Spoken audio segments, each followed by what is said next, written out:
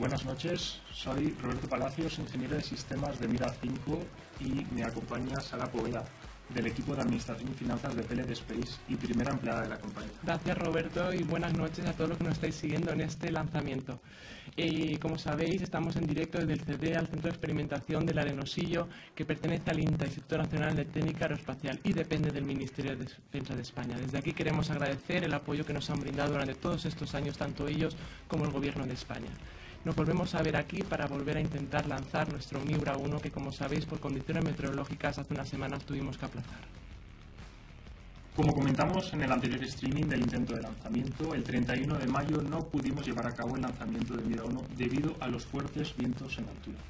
Durante toda la noche el equipo de meteorólogos de PLD Space estuvo analizando los datos de los globos sondas que enviábamos. El último de ellos, muy cerquita del lanzamiento, nos reveló que los vientos en altura eran de 30 metros por segundo, entre los 8 y 12 kilómetros de altura. Estos vientos superan los límites de seguridad que tenemos definidos para hacer un lanzamiento en condiciones de seguridad. Las condiciones meteorológicas límites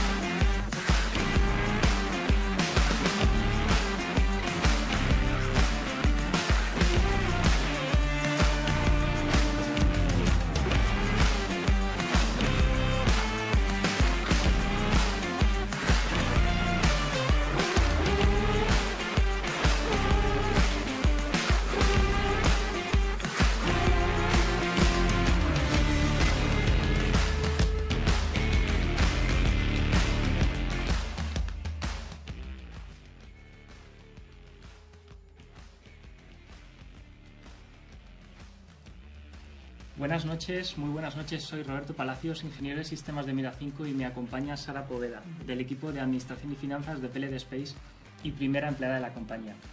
Os queremos pedir disculpas por los problemas técnicos y de sonido que estamos teniendo. Estamos trabajando en ello, me consta que lo están ya resolviendo. Son los problemas normales del directo, pero en compensación os hemos eh, suministrado unas preciosas imágenes de Mira 1 en la playa en estos momentos. Así que bueno, esperamos que sirvan para recompensar esas disculpas que os pedimos. Gracias Roberto y como os habíamos comentado estamos en directo desde el CD al Centro de Experimentación del Arenosillo en las instalaciones que pertenecen al INTA, Instituto Nacional de Técnica Aeroespacial y que dependen del Ministerio de Defensa de España. Desde aquí queremos agradecer todo el apoyo que nos han brindado durante todos estos años tanto a ellos como al Gobierno de España. Y estamos aquí hoy de nuevo para volver a intentar lanzar nuestro Miura 1 que como sabéis hace unas semanas tuvimos que aplazar por circunstancias meteorológicas. Efectivamente, el 31 de mayo no pudimos realizar el primer lanzamiento de Mira 1 debido a los altos eh, vientos en altura que teníamos aquel día. En particular, la última sonda atmosférica reveló unos vientos superiores a 30 metros por segundo entre los 8 y 12 kilómetros de altura. Esto superaba los límites de seguridad con los que podemos realizar el primer ensayo de vuelo de Mira 1. Así es, Roberto, porque las condiciones meteorológicas límites son aquellas que fijan el equipo de lanzamiento de PLD Space y la autoridad de lanzamiento LINTA para asegurar el éxito de la misión y la seguridad durante el vuelo. Estas condiciones, como decimos, están, si están al límite, hay que valorar los riesgos asociados que conllevaría seguir adelante con la misión. Eso es lo que hizo el equipo de PLD Space, Raúl Torres, CEO, cofundador y director de lanzamiento de Mira 1, junto con todo su equipo de lanzamiento y el equipo directivo, sopesó esas condiciones de lanzamiento, se vio que superaban los límites y tomaron la sabia decisión de posponer el lanzamiento. Vais a poder ver todo ello mucho mejor en el siguiente video resumen.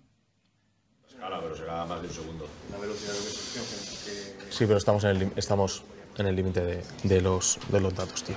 Ezequiel, ¿qué hacemos? Hemos lanzado una simulación nominal eh, y sobrevive, pero estamos fuera de la zona de incertidumbre. Yo, chicos, no avanzaría, ¿verdad? O sea, con, con yo llevaría cuidado con el GNC y la trayectoria. O sea, es lo, que, es lo que nos puede hacer palmarla de forma muy vasta. Ahora nos han dicho que nos van a, a comentar posibles ventanas. Yo repetiría, misma operativa y mejorando los tiempos y lo sacamos. Pero con mejor certidumbre en la, en la meteorología. Desde el principio lo hemos visto que la meteorología está jodida podemos lanzar, pero yo lanzaría si tuviese ya cuatro o cinco cohetes lanzados, que sé cómo se comporta el GNC. La primera vez no me veo, no me siento cómodo. La verdad, no me siento cómodo. De verdad, pienso que es lo más sensato para ser la primera vez. Tenemos que intentar que dentro de todas las condiciones lo más nominales posibles salga bien o salga mal. Pero si ya estamos lanzando con condiciones fue casi casi al límite, la probabilidad de tener éxito a la primera baja. Y como responsable de todos los que estéis aquí, pienso que es lo más razonable. Debemos ir a condiciones dentro de un contexto de eh, lo más normal y analizadas posibles. Y si estamos muy fuera, tenemos más oportunidades. También digo una cosa, anunciar que hemos llegado hasta el final de la cronología y hemos abortado por vientos en altura me parece un éxito. O sea, no, es la realidad. Es la puta realidad de una empresa de cohetes que es, todos los que estáis aquí que habéis visto lanzarlos en la tele, habéis visto que han abortado 30.000 veces por, por los vientos en altura.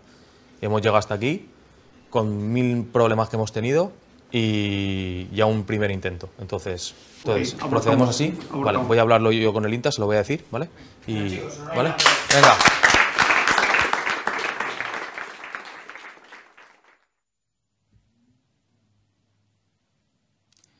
Vaya momentos de tensión, Sara, pero sabia decisión la del equipo de lanzamiento que supo no sucumbir a las prisas y tomar la decisión de posponer el lanzamiento. Vamos a continuar con las presentaciones. Somos PLD Space, una de las empresas de referencia del sector aeroespacial en estos momentos y una de las empresas más avanzadas en Europa en la hazaña de lanzar un microlanzador privado desde suelo europeo. Nacimos en el año 2011, cuando dos jóvenes ingenieros, Raúl Torres y Raúl Verdú, se decidieron en aquellos momentos por crear este proyecto para garantizar el acceso al espacio y resolver los problemas aquí en la Tierra. Sí, Roberto, y 12 años más tarde hemos conseguido diseñar, desarrollar y fabricar un cohete desde cero. Como sabréis, estos años no han sido nada fáciles y nos hemos encontrado con un sinfín de desafíos por afrontar de nivel técnico, corporativo y también financiero. Sí, el equipo ha crecido mucho durante estos años. Actualmente somos un equipo de más de 130 personas. 130 espacios trastornados que nos han traído hasta aquí, hasta este momento clave. Pero necesitamos seguir creciendo para llegar todavía más lejos así que os animamos a formar parte de este gran sueño. Estamos además eh, repartidos por el territorio. Tenemos tres sedes actualmente. nos encontramos en Elche, en la provincia de Alicante, donde tenemos nuestras oficinas centrales y también el centro de producción. Allí es donde se ha ensamblado Mira 1. Tenemos las instalaciones del aeropuerto de Teruel, donde tenemos nuestros bancos de ensayo. Y en tercer lugar tenemos la base de lanzamiento aquí en Huelva, donde tenemos por un lado el centro de control de emisión en las instalaciones de CDA y la rampa de lanzamiento que se donde se encuentra en estos momentos Mira 1 en el histórico sitio de Medano del Loro. Bueno, pues ahora que Roberto os ha nombrado ya las instalaciones centrales de Elche, vamos a conectar allí, porque allí está parte del equipo de de Space, que seguro que está viviendo este momento súper emocionado como nosotros desde aquí, y a ver si el grito de energía resuena tanto como la última vez. Vamos a ver, vamos a ver, Sara. Buenos días, equipo. ¿Cómo están los ánimos por ahí?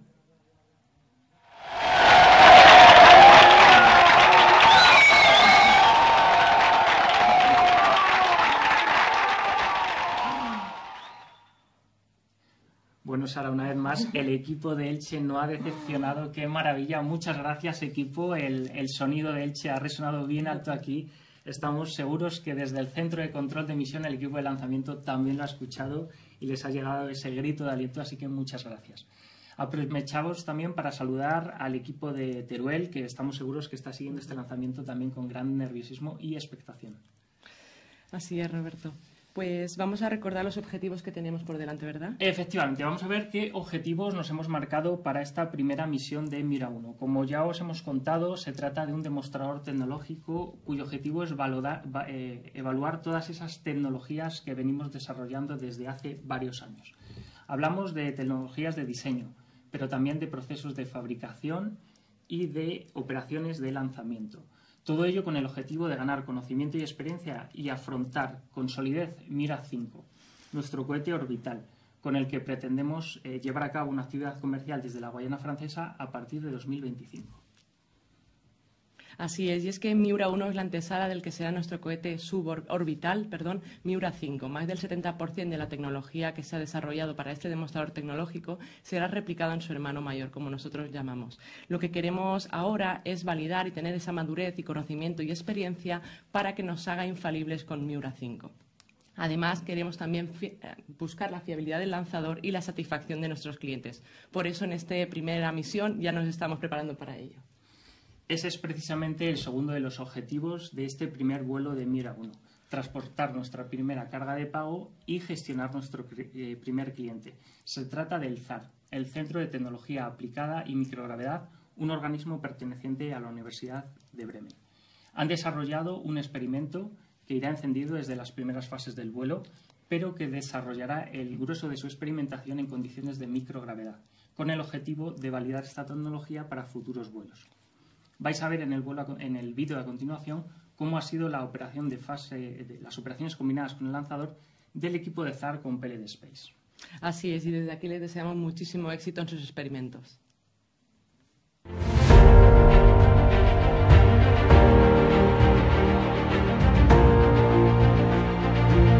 Hello from Arenosillo, the launch base that we will be using for uh, Mura 1, maiden launch. Today we start the combined operation with the customer and uh, we will be ready for launch uh, middle of April. And the objective of this combined operation is to integrate uh, together all the customers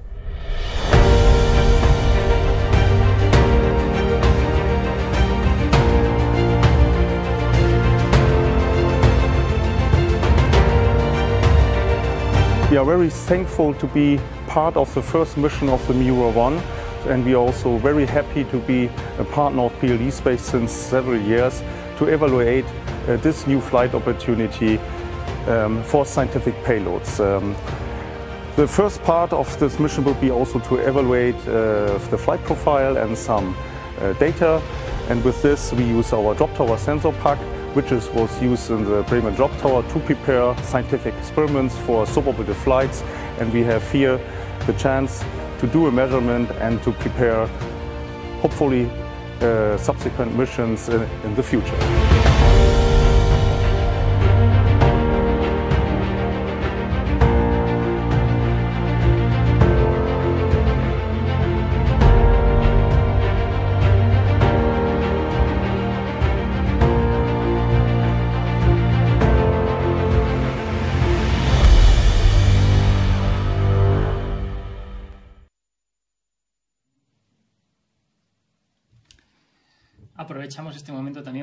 A los compañeros del ZARP que nos acompañan en el día de hoy aquí en las instalaciones de Huelva. Bueno, en pantalla estáis viendo en estos momentos eh, Mira 1. Vamos a daros las principales características de este primer microlanzador de PLD Space. Se trata de un lanzador suborbital de una sola etapa y de 12,5 metros de altura. Tiene 0,7 metros de diámetro y en el momento del despegue pesará algo más de 2.500 kilos. Es capaz de transportar una carga útil de 100 kilos a una altura de 80 kilómetros. Otros datos interesantes. El empuje del motor. Estamos hablando de aproximadamente 30 kilonewtons, el cual estará encendido durante aproximadamente dos minutos. Eh, si vemos el volumen de los tanques de propelentes del, cohete, eh, vamos a ver que tenemos por un lado el tanque de combustible, que sería queroseno, que tiene un volumen de unos 600 litros. El tanque del comburente, oxígeno líquido, tiene aproximadamente 1.100 litros y se encuentra en condiciones de criogenia. Luego vamos a ver cuáles son las implicaciones operacionales de esto. Una de las características principales de Mira 1 es que ha sido desarrollado desde el inicio para ser recuperable. Y es que esta es una de las dos premisas que siempre ha guiado el camino de PLD Space. Recuperación y reutilización. Y es por ello que desde hace varios años trabajamos con la Agencia Europea del Espacio en varios programas de I+D para desarrollar esta tecnología y aplicarla a nuestros cohetes.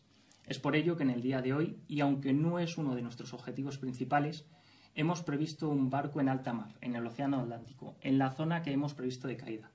Hay un equipo de PLD Space que, junto con un equipo especializado de buzos, van a intentar de recuperar Mira 1 y llevar a cabo esa hazaña. Así es, y ahora que conocemos ya un poquito más de Miura 1, vamos a ver los objetivos que tenemos previstos para la misión en el día de hoy podríamos decir que tenemos dos tipos de objetivos. Los objetivos primarios que están directamente relacionados con la fase de ascenso y son los realmente importantes en el día de hoy para nosotros. Y también tendríamos objetivos secundarios que no tienen, no tienen nuestro foco en el día de hoy, pero están ligados a la fase de descenso.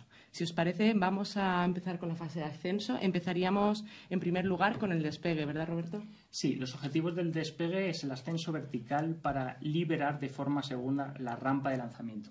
Esto consiste en un despegue totalmente vertical de forma a alejarnos lo más rápidamente posible de la rampa de lanzamiento.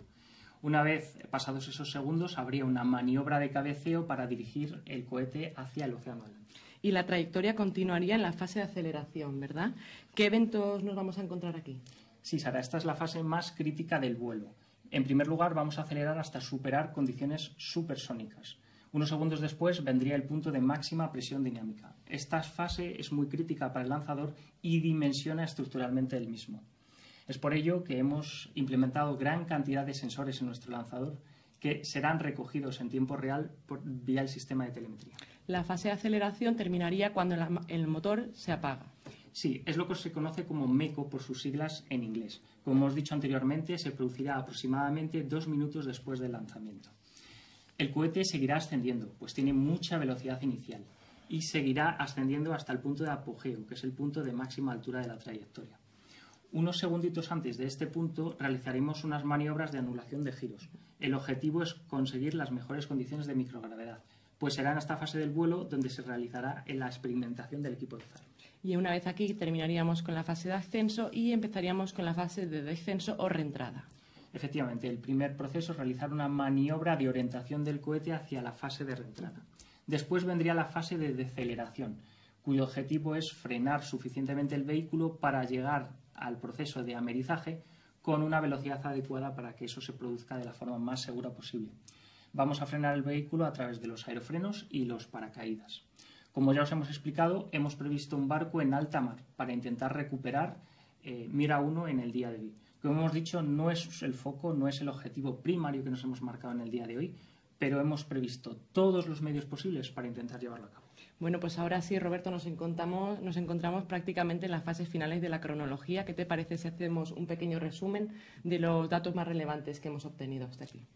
Sí, Sara, porque como ya explicamos en el anterior intento de lanzamiento, la cronología es un procedimiento muy largo, muy complejo, tiene miles de pasos, así que os vamos a desgranar aquellos más importantes y, haciendo un poco esa comparación con las implicaciones operacionales que pueden tener algunas de las características del cohete. Así es, empezamos eh, hace más de ocho horas con los alineamientos del sistema de guiado, navegación y control. ¿Cuál es el objetivo de esto? Pues cuando ponemos el cohete en vertical, lo que se trata es de medir cuál es su posición en la rampa de lanzamiento. de forma a introducir esta medida en la unidad inercial del cohete. Esta es la unidad que estimará la posición del mismo durante toda la fase de la trayectoria. Es muy importante realizar esta medida con gran precisión, puesto que un error cometido en esta medida se irá sumando, acumulando a lo largo de toda la trayectoria y podría ser importante al final de la misma. Así que es una medida crucial. Muy bien, Roberto. En pantalla hemos estado viendo hace unos momentos unos chorros que salían eh, de la parte alta del cohete, ¿verdad? Esto podría ser el venteo de oxígeno, ¿cierto? Efectivamente, como hemos explicado, eh, tenemos dos tipos de propelentes en el eh, motor, en el, en el, cohete Mira 1.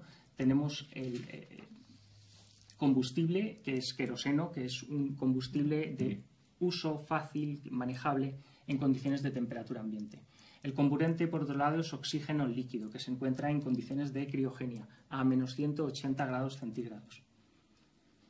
Así que, Sara, primero hemos de llenar el tanque de combustible, que podemos manejar fácilmente, para, a continuación, llenar el tanque de oxígeno líquido. Hemos de realizarlo en este orden para retrasar todo lo posible el manejo del tanque de eh, oxígeno líquido. Como bien comentabas, ese venteo que podemos ver en el cohete es debido a la temperatura del oxígeno líquido. Este se encuentra muy frío y debido a la temperatura del ambiente se produce un cambio de estado líquido a estado gaseoso. Si mantuviésemos ahí el gas eh, oxígeno, calentaría el resto del oxígeno que tenemos en el tanque.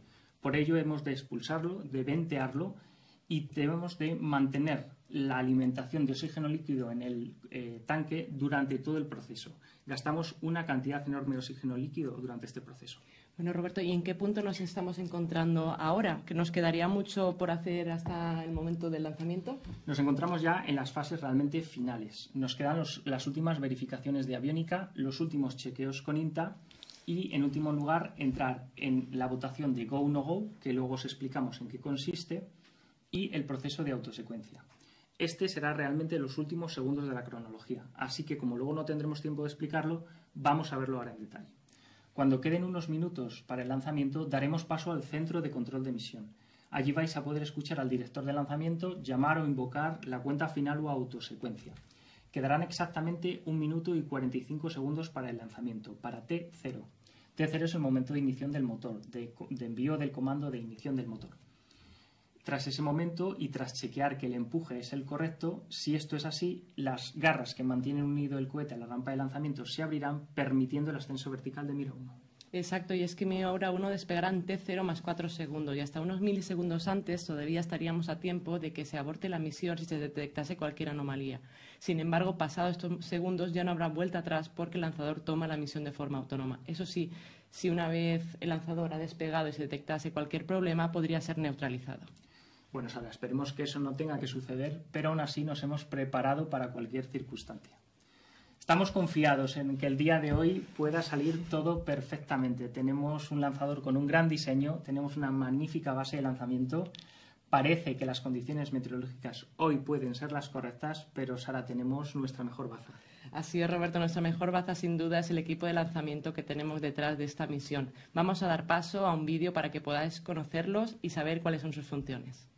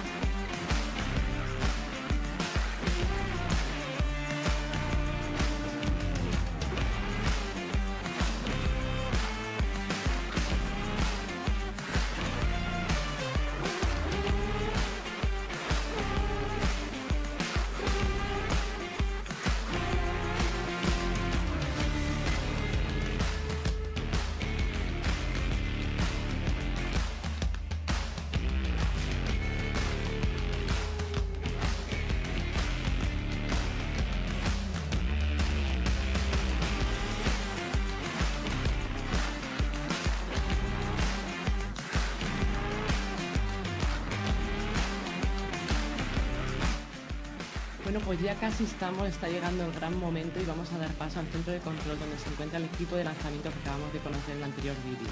Ellos serán los responsables de darnos paso al Go No Go. Roberto, cuéntanos, ¿en qué consiste este Go No Go? Sí, Sara, vamos a explicarlo porque fue precisamente en este punto en el que nos quedamos en el anterior intento de vuelo. En los próximos minutos vamos a dar paso al centro de control de misión. Allí vais a poder escuchar al director de lanzamiento llamar a cada uno de los subsistemas y actores que participan de esta cronología de lanzamiento. El Go No Go no es más que una votación general en la que solo seguiremos adelante si todos los votantes, por decirlo de alguna manera, dicen estar Go, dan luz verde para continuar. Vais a poder ver, cuando conectemos con el centro de control de misión, una interfaz gráfica donde vais a ver todos los componentes que intervienen de esta votación se irán marcando en verde o rojo si cada uno de los responsables indica estar listo o no listo para continuar con la cronología. Y daremos paso a los distintos subsistemas del cohete, pero también la base de lanzamiento y, como no, las condiciones meteorológicas. Como decimos, solo continuaremos hacia adelante si todos y cada uno de ellos declaran estar listos.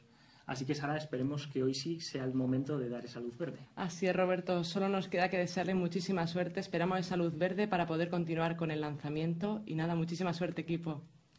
Sí, muchísima suerte. Eh, como decimos, eh, os dejamos ya entonces con imágenes de cohete. Allí fijaos mucho en el venteo que os hemos explicado. Ahora podéis saber lo que es. Y eh, a continuación daremos paso al centro de control de misión. Como os decimos, vais a escuchar y oír todo lo que allí se diga. Y cuando llegue el momento del Go No Go, podréis seguir en esa interfaz gráfica ese sistema de votación. Nosotros ya nos, nos reconectaremos después del lanzamiento.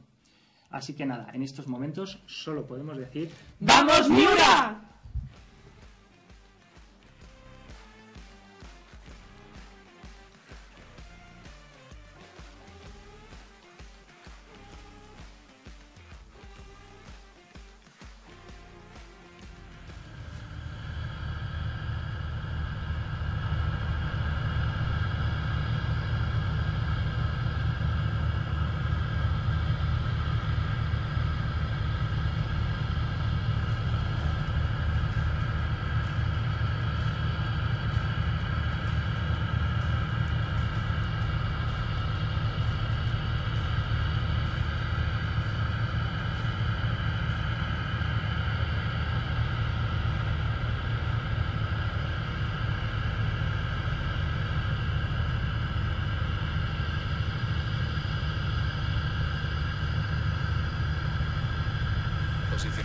En posición de variación de GNC.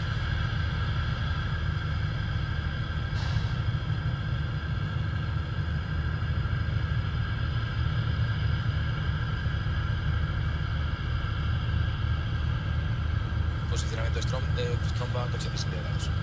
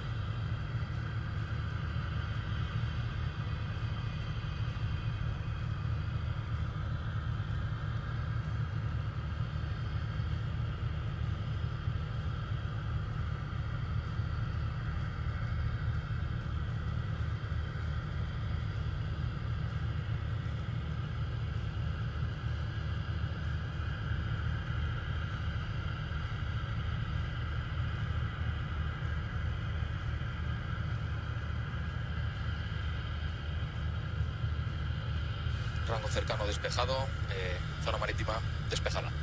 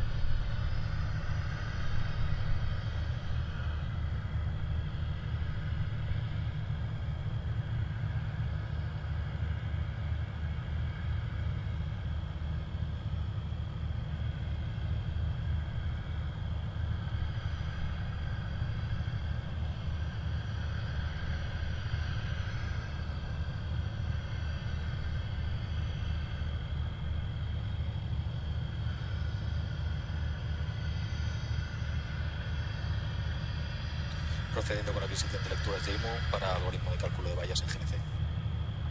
Lecturas de momento bonitas.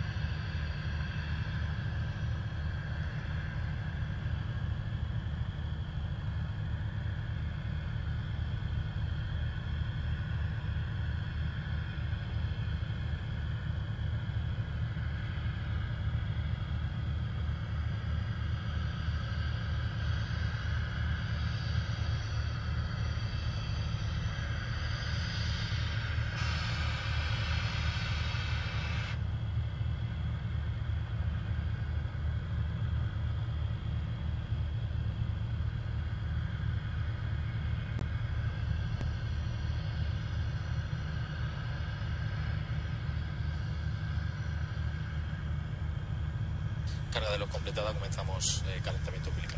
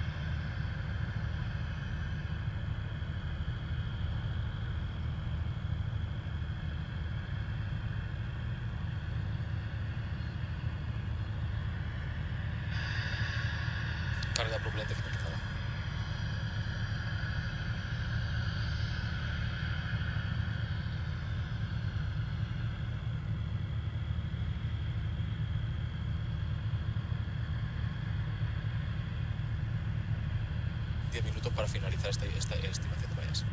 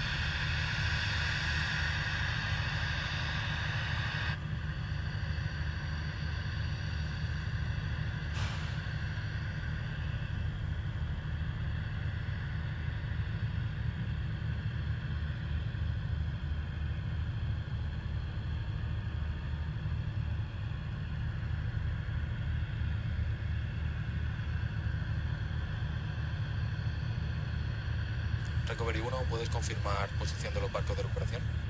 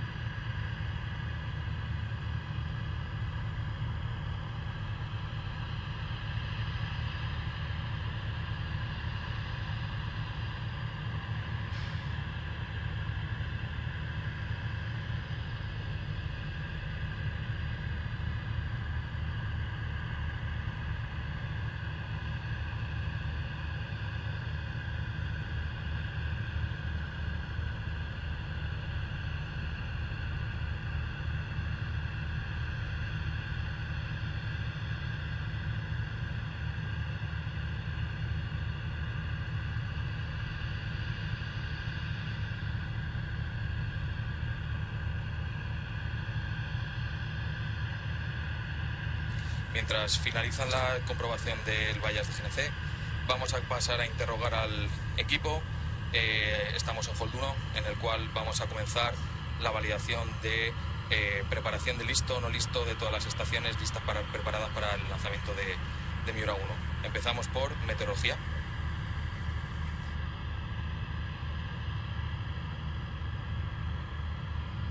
Meteorología.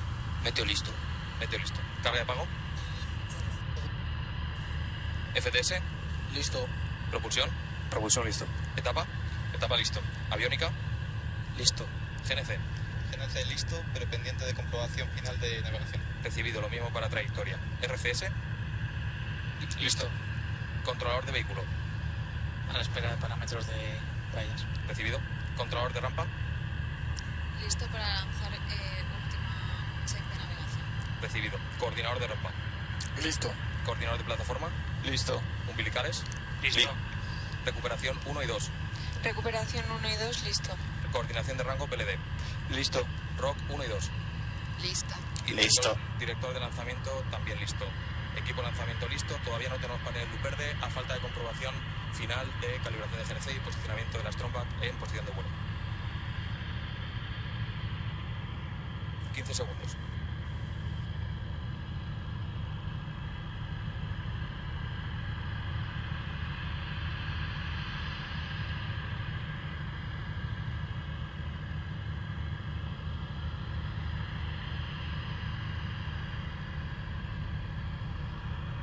Recibido. Cálculo de vallas, ok.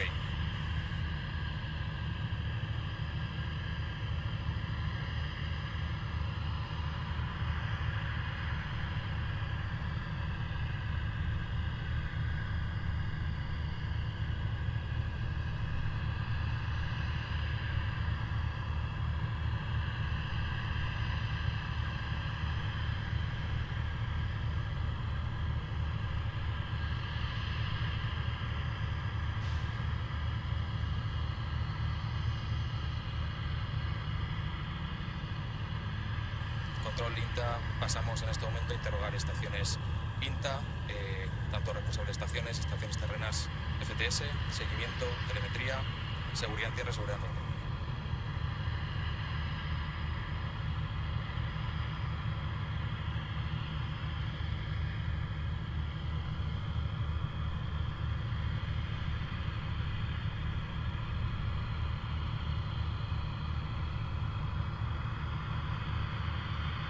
PLD de control INTA, eh, instrumentación lista. Instrumentación lista.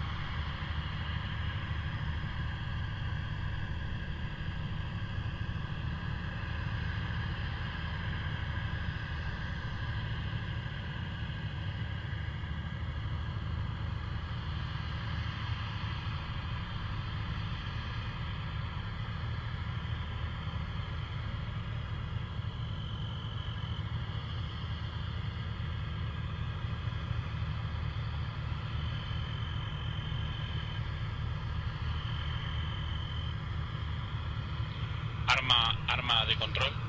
Adelante. Subimos portadora a un kilovatio.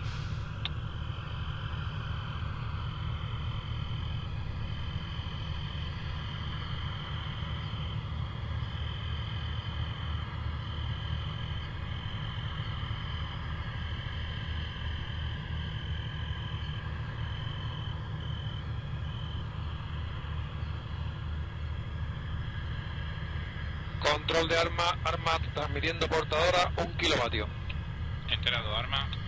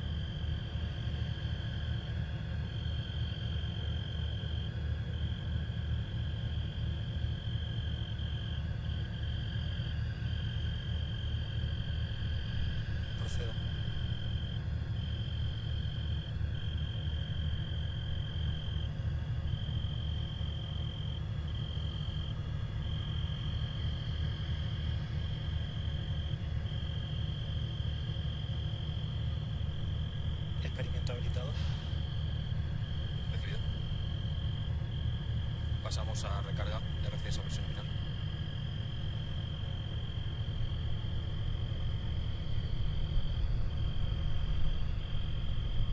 Recuerda trayectoria, control del vehículo, control de rampa, tenéis que dar puesto listo para andar. Listo para andar.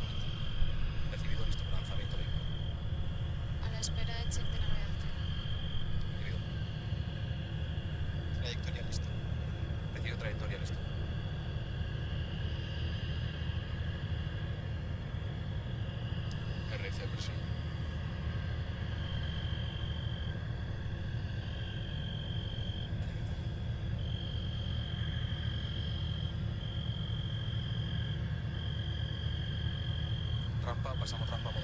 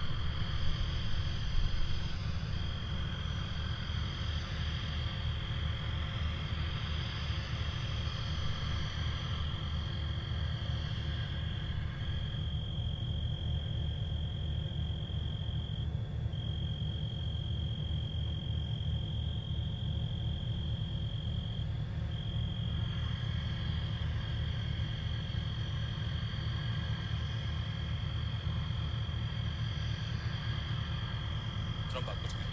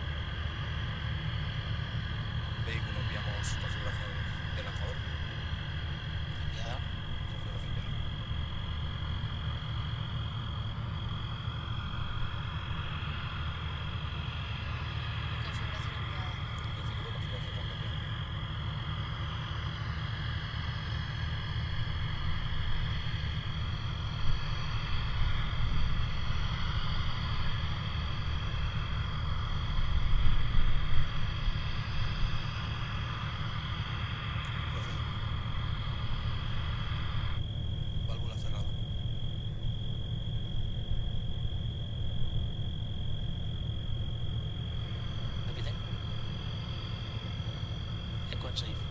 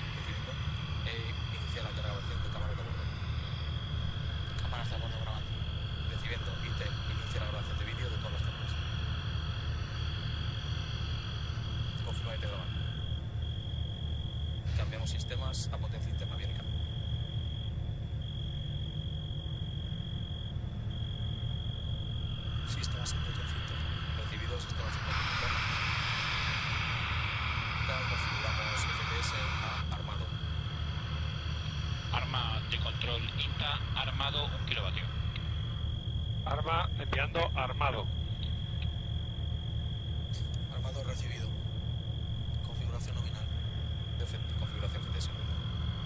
Arma. Arma enviando failsafe enable. Arma enviando failsafe enable. Enviando failsafe enable. Failsafe enable recibido. Failsafe enable recibido.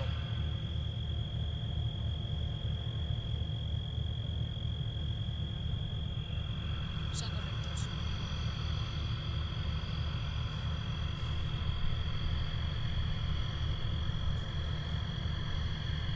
Confirmo. Rampa, pasamos rampa modo automático.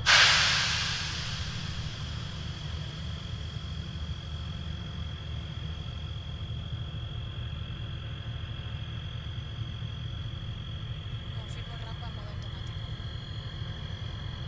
Rampa en modo automático. Control INTA de director de lanzamiento. Autosecuencia preparada. Solicitamos autorización para lanzar Miura 1. Recibido standby.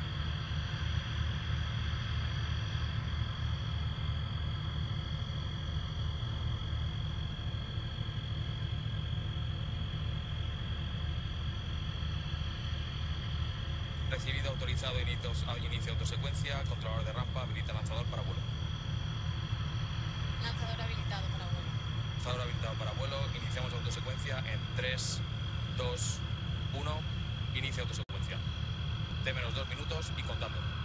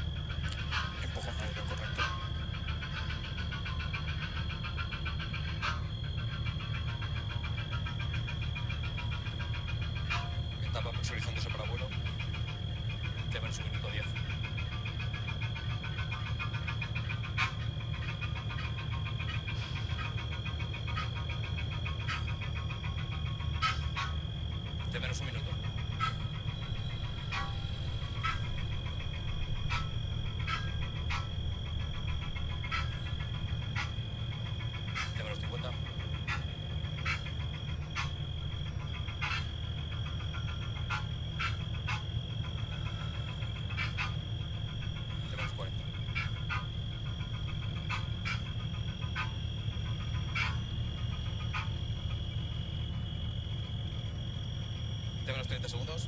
Etapa IRC, presión de vuelo. Auto. Presión de ataques nominal.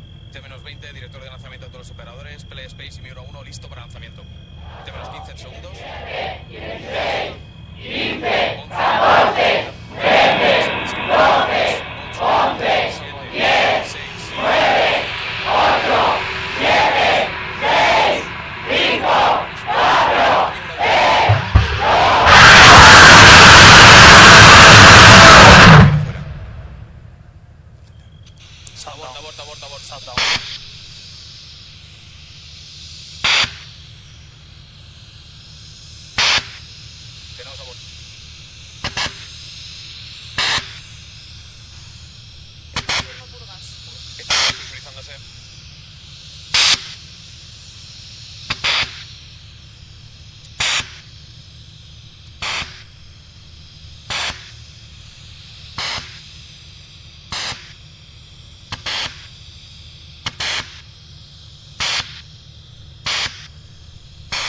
dan wel zeggen.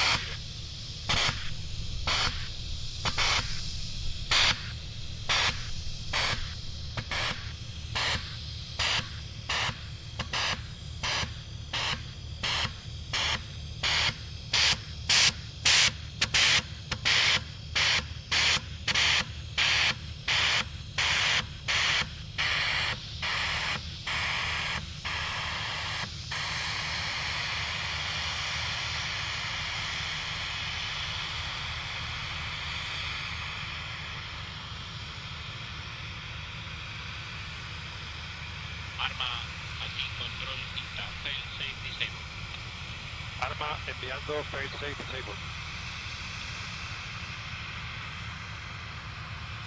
disable recibido.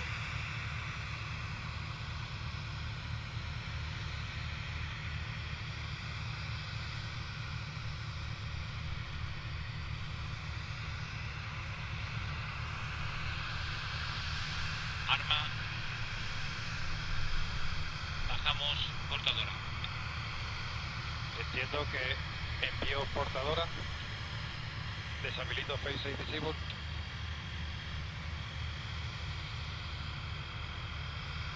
Afirmativo, mantén solo portadora. Recibido arma. A bot y stop recibidos. Arma re- enviando portadora.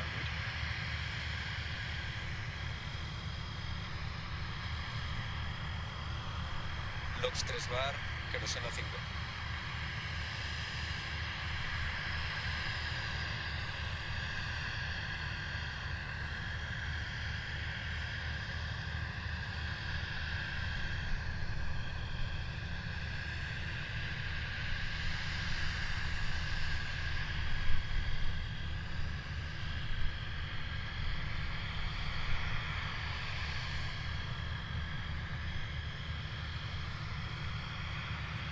Eh, arma baja, seguridad 250 vatios. Recibido arma. Mantenemos portadora.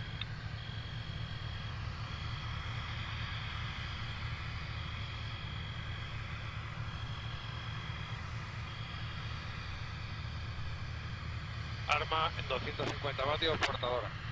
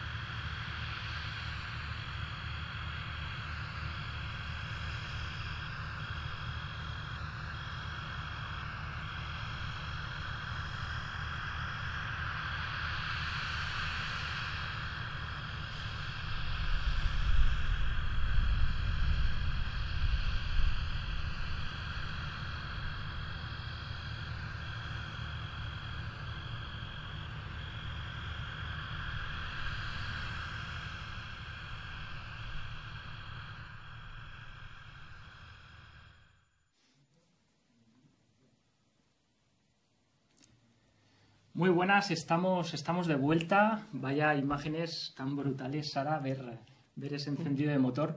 Como habéis podido ver, Mira 1 no ha despegado. Hemos tenido un abort en el último momento. No sabemos todavía si este abort ha sido intencionado por el equipo o ha sido un abort automático. Como os explicamos, el el proceso de autosecuencia es complicado. Cuando el motor enciende hay unos procesos de chequeo del empuje del motor. No sabemos cuál ha sido el motivo que ha llevado a ese abort. El equipo de lanzamiento está trabajando en ello, está recibiendo muchísimos datos del cohete, de la rampa de lanzamiento Y el trabajo ahora es ese, es explotar todos esos datos, analizando, y como ya hemos dicho, esto es un demostrador de vuelo, y eh, analizar esos datos y ver dónde se ha producido bueno, pues un problema, un error, eso es lo que hay que analizar ahora. Vamos a hacer un pequeñito resumen de lo que ha sido esta cronología de vuelo, vamos a analizar los objetivos que nos habíamos marcado y ver que hemos cumplido. Así es. En primer lugar, eh, la cronología en sí, todo lo que es el proceso de control de la aviónica, llenado de tanques, el llenado de tanque de queroseno, de combustible, ha sido perfecto. Creemos que el control del tiempo en esta cronología, ha sido muy, muy bueno. La gestión de lo que ha sido el tanque criogénico del OX. Hemos llegado hasta T0. Como habéis visto, se ha producido un encendido del motor. Y como decimos, ahora es la fase en la que toca estudiar qué es lo que ha podido pasar y, eh, bueno, cuándo volveremos a intentarlo. Sí, en primer lugar también dar la enhorabuena al equipo porque haber llegado hasta aquí ya es todo un éxito y eh, tendremos unos datos súper valiosos en el día de hoy para analizar y a seguir. Eso es, a seguir, ese es el mensaje que siempre transmitimos. Vamos, Miura. Nosotros ya en el día de hoy nos vamos a despedir. Vamos, como decimos, a analizar esos datos. Os mantendremos informados, no os desconectéis de nuestras redes sociales y, bueno, os mantendremos informados también de cuándo será el próximo intento. Muchísimas gracias por habernos acompañado de nuevo en este streaming. Este segundo intento no ha podido ser, pero esperemos que la tercera vaya a la vencida. Y nada, que desearle mucha suerte al equipo y llegar aquí ya sea un éxito. Somos cabezotas, lo intentaremos de nuevo. Así que muy buenos días y hasta la próxima.